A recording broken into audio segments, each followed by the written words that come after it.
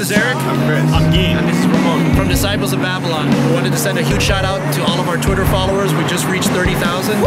Thanks Thank to you guys. guys. We love you. Amazing. Thank you guys. Thank you so much. Thank Here's you. to 35 and 40 and beyond. We love you. Retweet that.